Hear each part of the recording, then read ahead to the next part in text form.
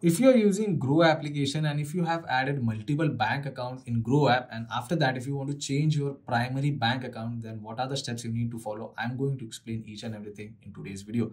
So if you are new to the channel, don't forget to subscribe. Let's start the video. So in order to change your primary bank account in Groww application, first you need to open Groww app and complete the login process.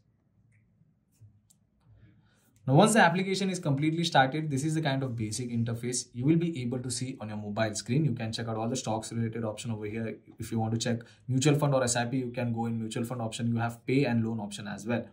Now, if you want to change uh, your primary bank account, you need to go in profile option, which is here at the top, select profile option and then select bank details.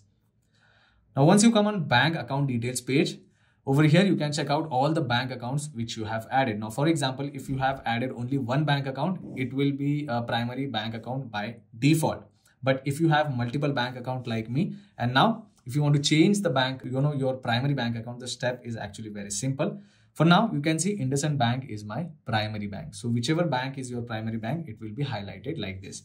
Now, let's say, for example, if I want to change my primary bank account to Kotak Mahindra Bank, then we need to select the three dot option in front of that bank. So I'm going to select three dot option. It will give me two options. One is make primary and another one is delete. So in order to make Kotak Bank as my primary account, I'm going to select make primary.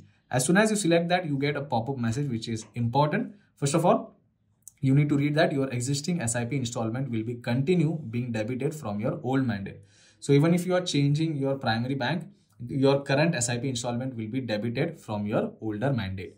And if you start a new SIP, it will be debited from your new primary mandate. So you can, you know, read this important message and you can go ahead. For now, I'm going to select make primary. And as soon as I select make primary, it will take me to another page. Now here to complete the process, either you can use your group pin or else you can scan your fingerprint so that the process will be done.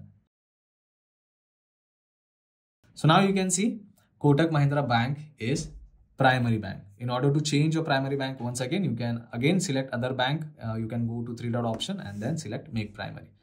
So this is how simple it is to change primary bank account in Groww application. So if you find this video informative, don't forget to subscribe. I'll see you all in the next one. Thank you.